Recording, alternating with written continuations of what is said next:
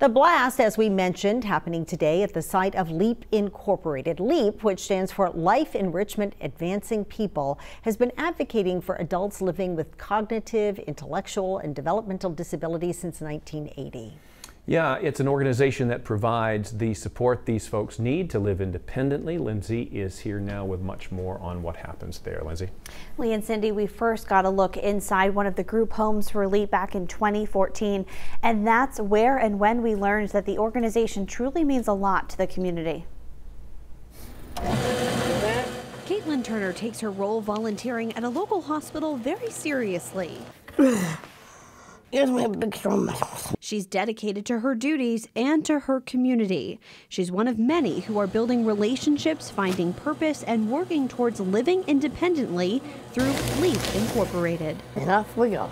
Kristen Grondin works at Franklin Memorial Hospital. She always looks forward to seeing Caitlin. Our volunteers here do a lot of work for us, and they're extremely helpful, and we appreciate what they do. And especially little Caitlin. She's great. I'll see you next week. When we first met Caitlin in 2014, she was a resident of one of LEAP's group homes. What you making today, Mike? Where she and others learn everything about everyday skills and making important life decisions on their own. Caitlin is one of the more than 75 people LEAP serves with nearly 200 employees, providing services to encourage acceptance and boost empowerment. You go right straight down towards this way.